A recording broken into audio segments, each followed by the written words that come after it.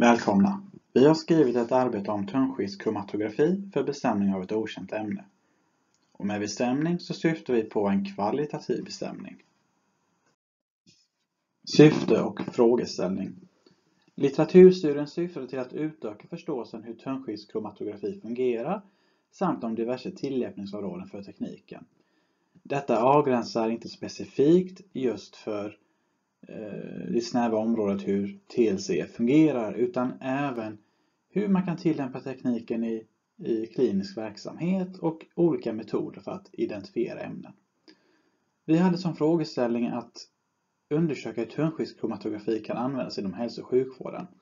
Detta är ganska relevant för oss eftersom alla tre deltagare utbildar sig till biomedicinska analytiker. TLC-tekniken Tunnskiktskromatografi, eller som det heter på engelska Thin Layer Chromatography, förkortat TLC, görs på en platta av glas, plast eller metallfolie som är belagt med ett tunt lager kromatografiskt material som fungerar då som en stationär fas. Det kromatografiska materialet kan bestå av cellulosapulver eller silikagel. Det finns fem kritiska steg och punkt 1 aktivering av platta. Det kan gå till på följande sätt om det är en adsorptionskromatografi man ska utföra. Att man ser till att plattorna är vattenfria och att de har behandlats i ett värmeskåp i 120 grader Celsius.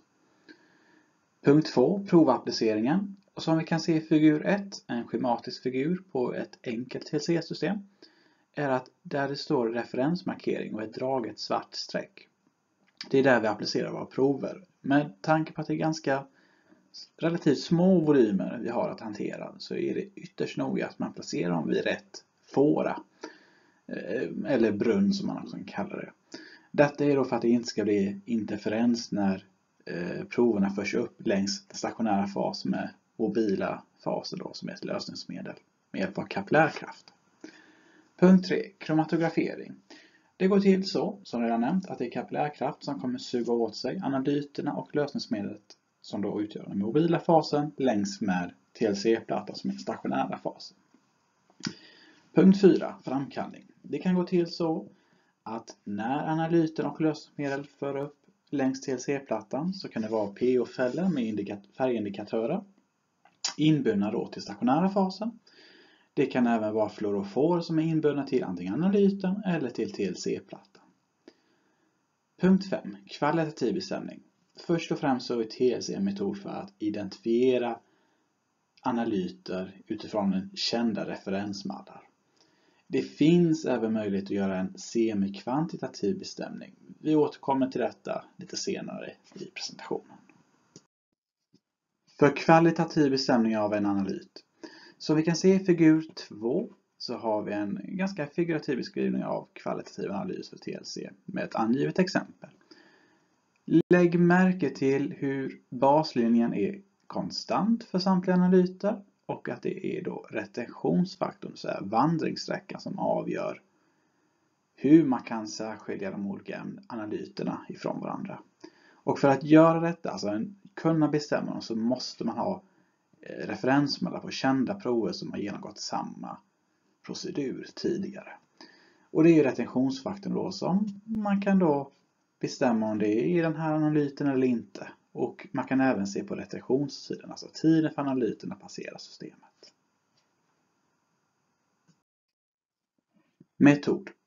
Vi gjorde sökning i databaser. Vi använde oss av Science Direct och PubMed.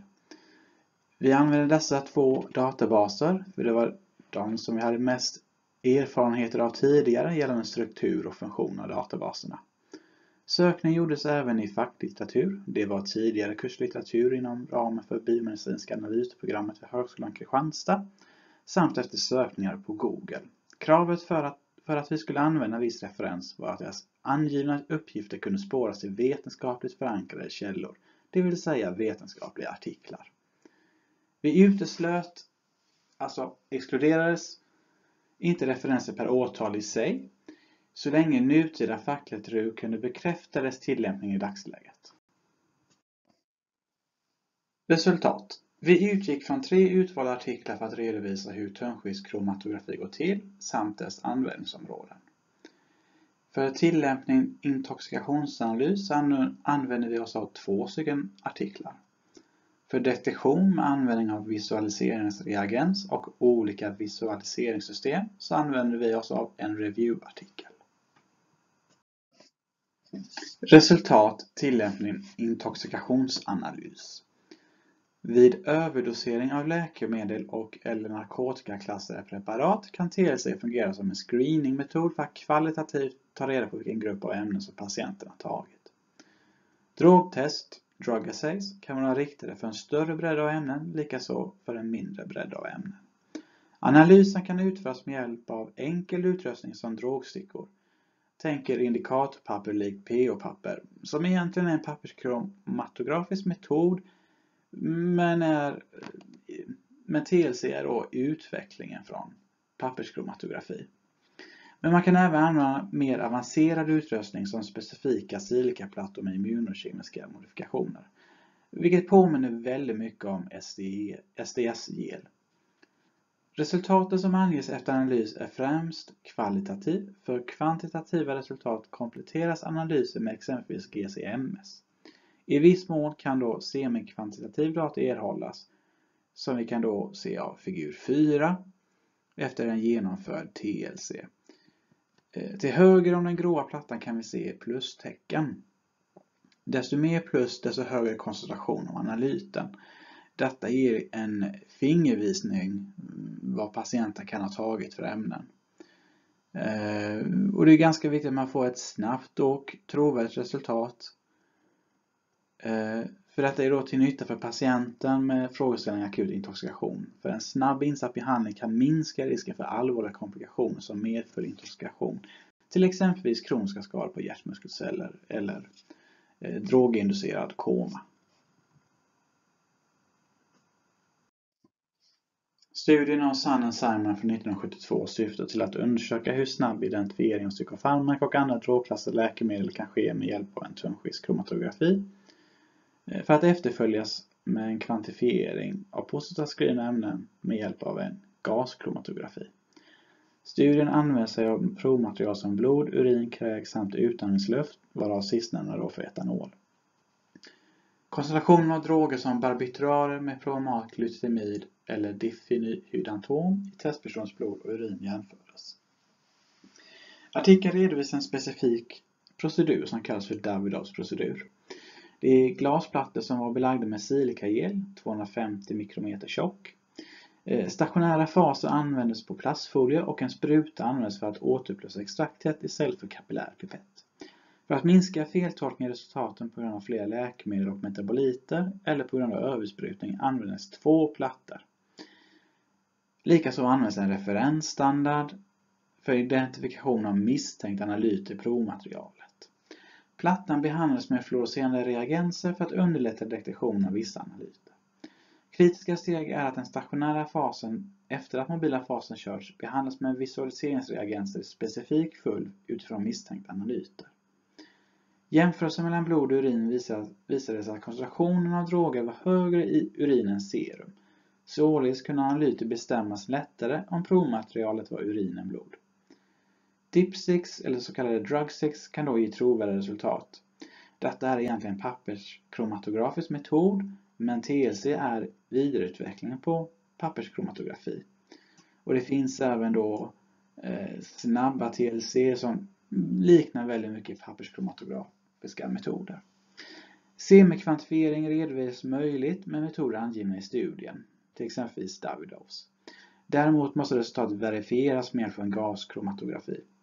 TLC-tekniken hjälper att detektera psykofarmakologiska läkemedel hos patienter. Detta då för att undvika att de ska komma i en droginducerad koma och att, man kunna, och att man ska kunna ge en snabb vårdinsats. Tekniken kan ge en bestämd identifiering av specifika droger och därmed möjliggöra en snabb vårdinsats utan att eh, spendera, för mycket, för, spendera för lång tid på att eh, diskutera indikationer och kontraindikationer. Resultat detektion med användning av visualiseringsreagens och olika visualiseringssystem.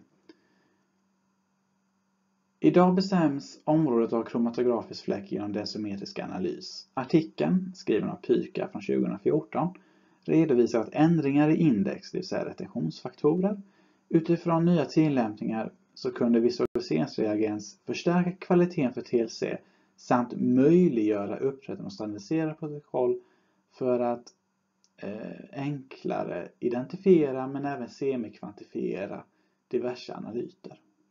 Artikeln redovisar att visualiseringseffekten beror på den kemiska strukturen hos följande komponenter vid TLC. Visualiseringsreagensen, analyten och adsorbenten, det vill säga den stationära fasen. Diskussion Screening TLC kan användas som en screeningmetod för att erhålla snabba resultat med relativt hög sensitivitet samt en specificitet som är högre än för snabba immunoassays. Däremot måste metoden kompletteras för kvantifiering och verifikation. TLC ger en kostnadseffektivitet att använda som screening med tanke på att man undviker kostnader för att starta igång en GCMS i onödan. TLC kan användas i sådana situationer då HPLC, UV och GC är inte lämpliga, exempelvis då analytisk struktur omöjliggör derivatisering för UV-detektion eller en totalt avstängning av volatilitet för GC-metod. TLC, till skillnad från HPLC gällande provlösning med hög koncentration, bedöms stationära faserna mer tåliga mot slitage och minskar risken för kontamination. Dessutom för TLC behövs i regel ingen avancerad dyr utrustning jämfört med HPLC och GC.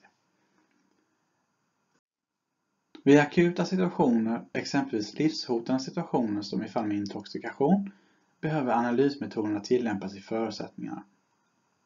Snabba svar med tillräcklig, om än begränsad information, behövs för att kunna genomföra ett säkert akut omhändertagande. Visar patienten förgiftningssymptom av ett ämne, men även av flertalet andra, kan en kvalitativ analys verifiera vilken akut behandling som ska användas eller inte som en behandlingsform kan stärka effekten av andra intagna ämnen.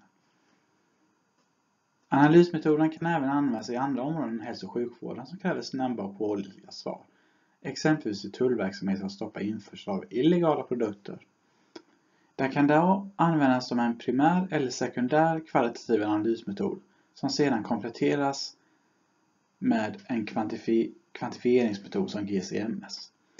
Metoden förutsätter kända referenser för att kunna bestämma okända prover. Därmed krav på hög standardisering för visualiseringsreagenser.